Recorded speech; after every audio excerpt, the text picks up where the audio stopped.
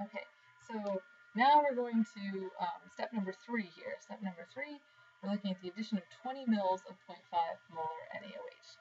So whenever you don't, like we don't know where we are in this titration. Whenever you don't know where, where you are, you should calculate the moles of the acid and the moles of the base, and that'll tell you. Because if you have more acid, then you haven't reached the equivalence point yet. If you have more base, uh, then you're beyond the equivalence point. Uh, if they're equal, then you're at the equivalence point. So let's start here. So it's at point number three. Uh, what do we have here? So step three, or I think in your notes it might say C. We have 20 mils of uh, 0.5 molar NaOH. So our moles of acid haven't changed because we're looking at the initial moles of acid. Uh, we had uh, initially told us, told us we had 20 mils of 0.5 molar. We already calculated that in step two. So moles of acid are 0.01 uh, moles acid. Moles of base, that's going to change at every step because we're changing the volume of the base. We're adding more at each step. So the molar, initial molar concentration, that doesn't change. That was 0.5, right? 0.5 molar. And now in step three, we're adding 20 mils. So 20 mils is 0.020 liters. All right, and so when we work that out, we end up with 0.010 moles of base. So what do you notice about the moles of the acid and the moles of the base? Looks like they're the same. So what's this point called? This is called the equivalence point. And at the equivalence point for strong acid, oh, it didn't come up very well. For strong acid and strong base, uh, the pH is going to be 7. pH is equal to 7. You don't even have to show any calculations. The idea is that they totally um, neutralize each other. And so you have a neutral solution. All of the moles of the acid neutralize all the moles of the base. You end up with salt and water. You end up with sodium chloride and water. And what we learned at the end of chapter 16 was that sodium chloride comes from a strong acid, strong base, and so it's a neutral salt, so it doesn't change the pH at all. All right, so now we can go on to, to step four. Now, since we've already neutralized all of the base at, at 20 mils, it took 20 mils of base to, to neutralize all the acid, any base that we add after that is going to be excess. So we just need to figure out in step four how much extra base do we have? This is the excess base section. Excess base. So I've already reached the equivalence point. Any base that I add after here is, just going to be extra. So again, you find your moles of your acid, which we found in part A, or part, sorry, the second part, is 0.010 moles. And now we want to find the moles of B, the moles of base, for this one. So if we started off with 0.5 molar, and the volume that we're adding now, if you look back up there, is point, uh, 20.2 milliliters. So 20.2 milliliters is 0.0202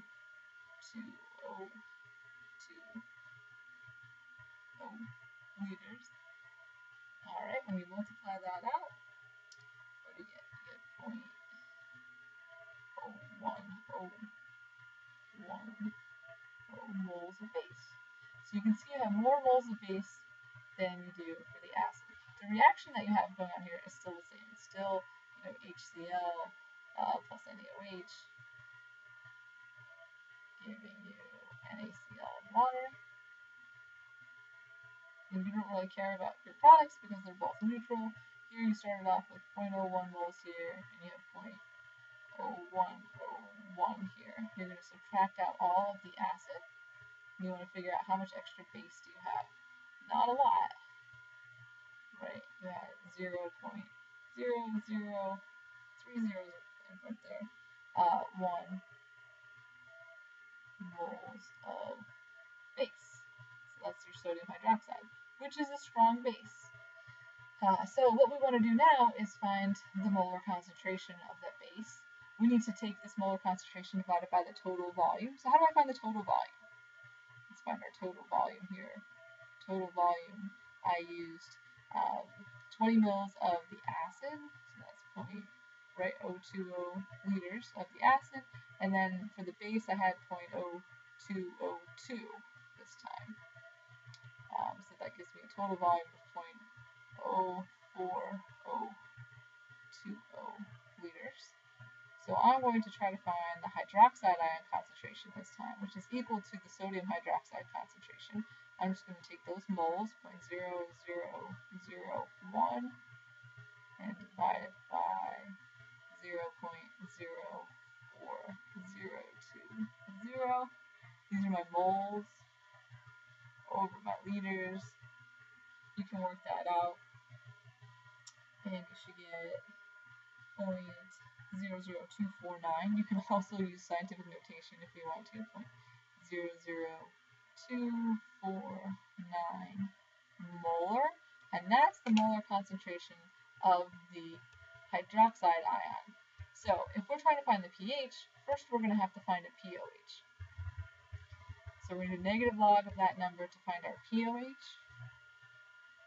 And then we will find our, our 14 minus that will give us our pH.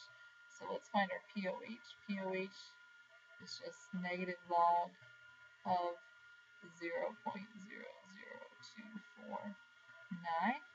So we work that out. I got 2.60. Uh, and then if you find pH, you want to do 14 minus that. We do 14 minus 2.60.